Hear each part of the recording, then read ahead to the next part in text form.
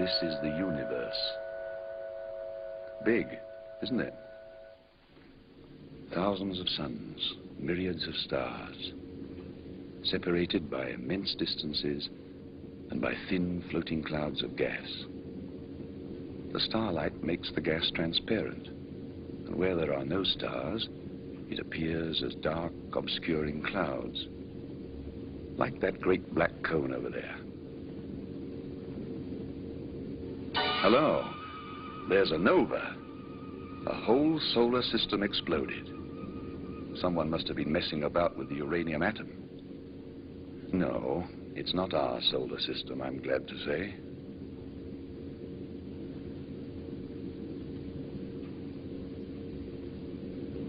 Ah, those are called a globular cluster of stars. Rather fine.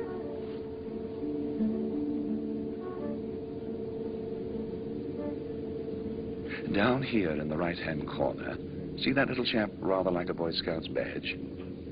It's a mass of gas expanding at thousands of cubic miles a minute.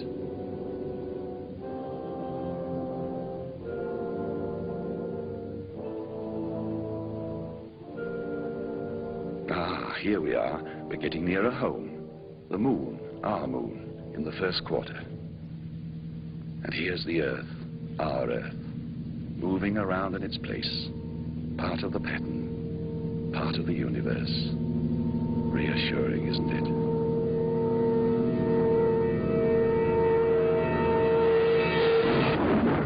It's night over Europe, the night of the 2nd of May, 1945. That point of fire is a burning city. It had a thousand bomber raid an hour ago.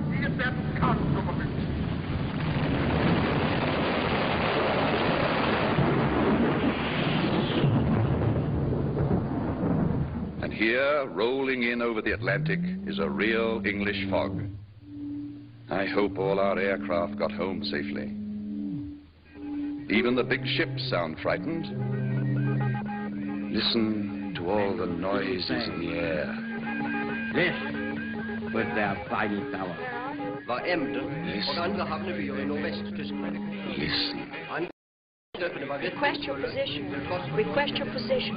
Come in Lancaster. Come in Lancaster. Position nil, repeat nil, age 27, 27. You get that? That's very important.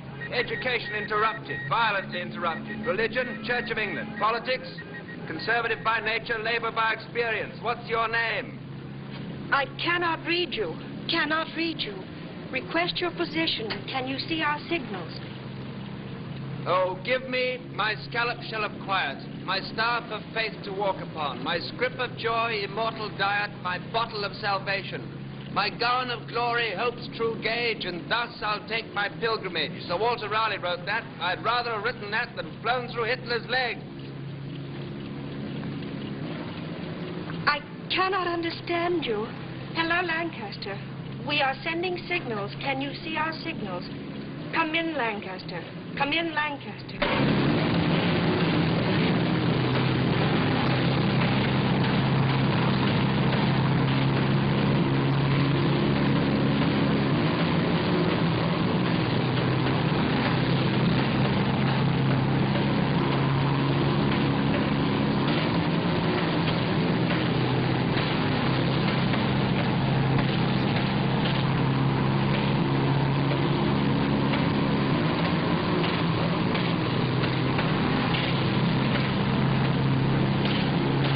But at my back I always hear time's winged chariot hurrying near, and yonder all before us lie deserts of vast eternity.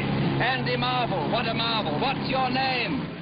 Are you receiving me? Repeat, are you receiving me?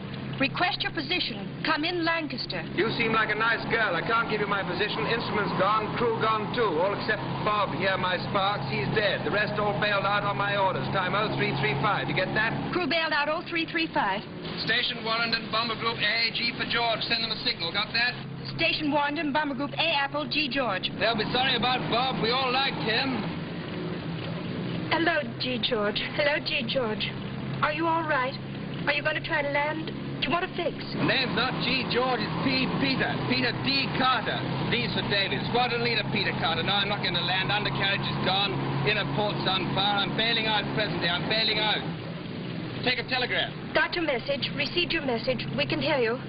Telegram to my mother. Mrs. Michael Carter, 88 Hampstead Lane, London, Northwest. 88 Hampstead Lane, London. Tell her that I love her. You'll have to write this for me, but what I want her to know is that I love her very much. That I've never shown it to her, not really, but that I've loved her always, right up to the end. Give my love to my two sisters, too. Don't forget them. Received your message. We can hear you. Are you wounded? Repeat, are you wounded? Are you bailing out? What's your name? June. Yes, June, I'm bailing out. I'm bailing out, but there's a catch. I've got no parachute. Hello, hello, Peter. Do not understand. Hello, hello, Peter. Can you hear me? Hello, June. Don't be afraid. It's quite simple.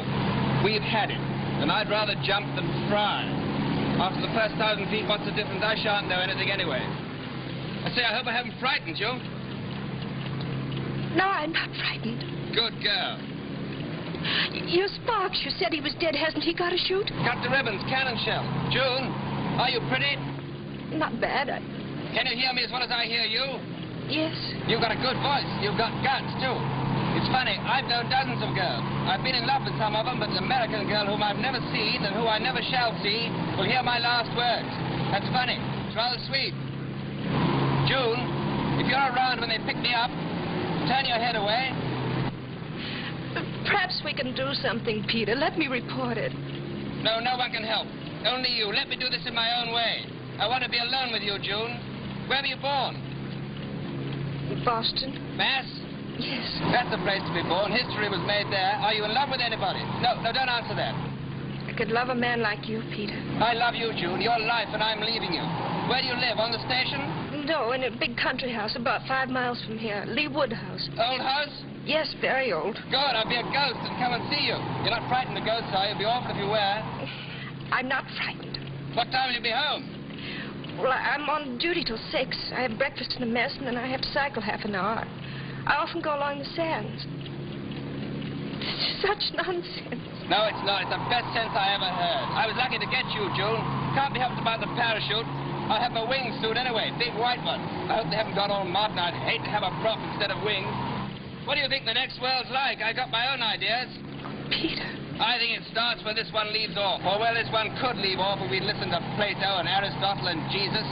With all our little earthly problems solved, but with greater ones worth the solving.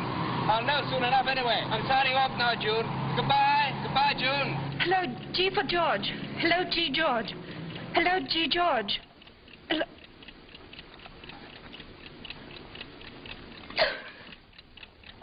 So long, Bob. I'll see you in a minute. You know what we wear by now, a prop or wings.